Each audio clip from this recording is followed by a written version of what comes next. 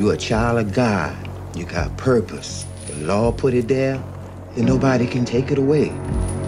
These books are for white folks. They're full of things your kind wouldn't understand. You're a special boy, Nathaniel. Study hard here.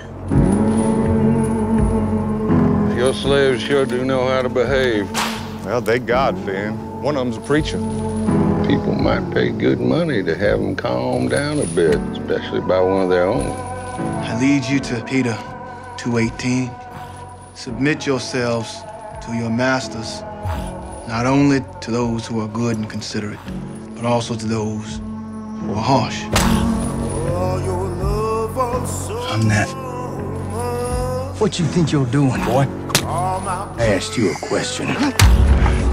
You're done preaching for a little while. Learned your lesson, boy? Oh, yes. I've learned. To watch a strong man broken down It's a terrible thing. The Lord's spoken to me. Visions of what's to come. A rise of good against evil. What are we gonna do? We'll fight. But once it begins, our brothers and sisters will join. And we'll number in the hundreds, thousands even. And we'll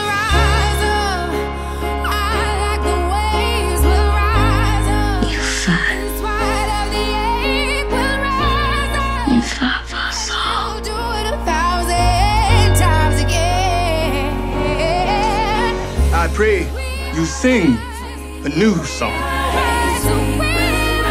Let the high praise of God be on the mouths of the saints and a two-edged sword in their hand to execute vengeance on the demonic nations. Sing to him a new song.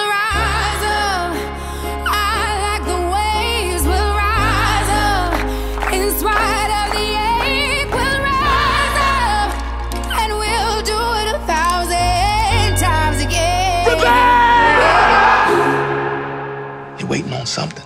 You're waiting on us.